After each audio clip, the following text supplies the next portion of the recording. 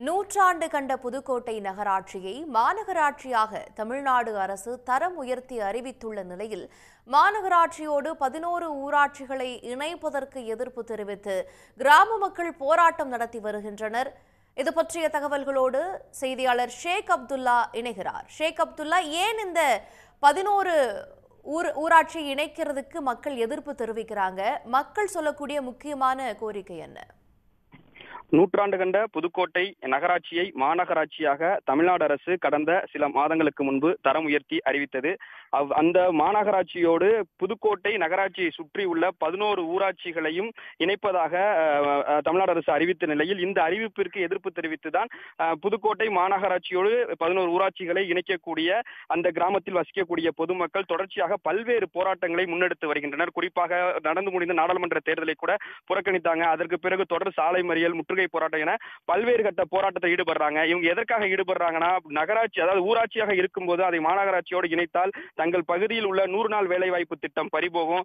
அதே போல வரி உயர்வு ஏற்படுத்தி வரி உயர்வு வந்து அதிகரிக்கப்படும்.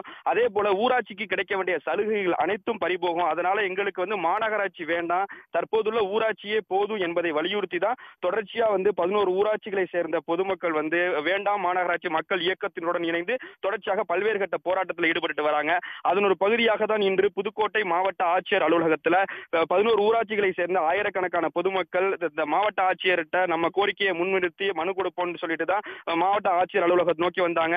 மாவட்ட ஆட்சியர் அலுவலகம் நோக்கி வந்தவர்களை ஒவ்வொருத்தரா வந்து காவல்துறையினர் உள்ளே அனுப்பிய நிலையில நீண்ட வரிசையில் இதுவரைக்கும் மாவட்ட ஆட்சியர் அலுவலகத்தில் இல்லாத வகையில நீண்ட வரிசையில அந்த ஆயிரக்கணக்கான பொதுமக்கள் காத்திருந்தாங்க. தற்போது அந்த வேண்டாம் மாநகராட்சி மக்கள் இயக்கத்தினருடைய முக்கிய நிர்வாகிகள் மாவட்ட ஆட்சியரை சந்திச்சு தங்களது கோரிக்கைகளை முன் வச்சிட்டு இருக்காங்க.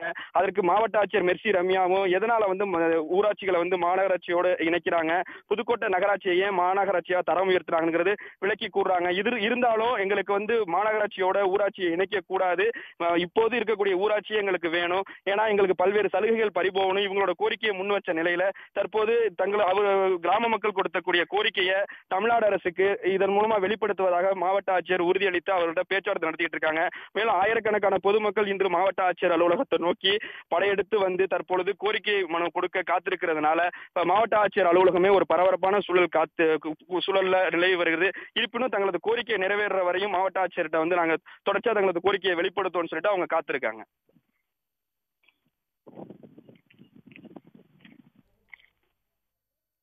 விவரங்களை வழங்கியமைக்கு நன்றி ஷேக் அப்துல்லா. உடனுக்குடன் செய்திகளை தெரிந்து கொள்ள சன் நியூஸ் பெல் ஐகானை கிளிக் பண்ணுங்க.